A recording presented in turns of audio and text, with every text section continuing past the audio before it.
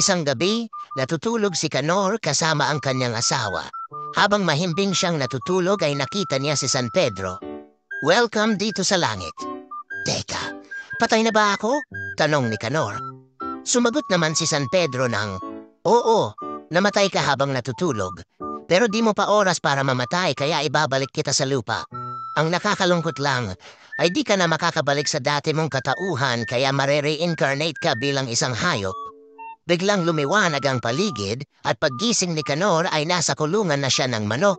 Si Kanor ay naging isang manok. Oy baguhan, kailangan mo na mangitlog kundi kakatayin ka ng amo natin.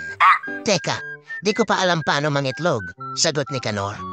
Kailangan mo lang umiri lang malakas para mangitlog ka, sagot ng kausap niyang manok. Umire si Kanor at may lumabas na malaking itlog.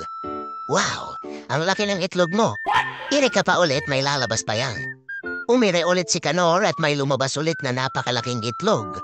Nagulat ang ibang mga manok. Wow! Sobrang laki talaga ng mga itlog mo. Sige pa umire ka pa may lalabas pa yan. Umire ulit ng malakas si Kanor at nagising siya sa suntok at sampal. Walang hiya ka Kanor, kadiri ka. Ba't ka tumatay sa kama?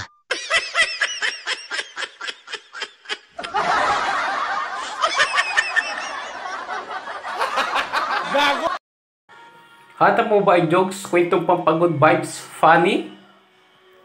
Ano pang hinihintay mo? Subscribe, like, and share na.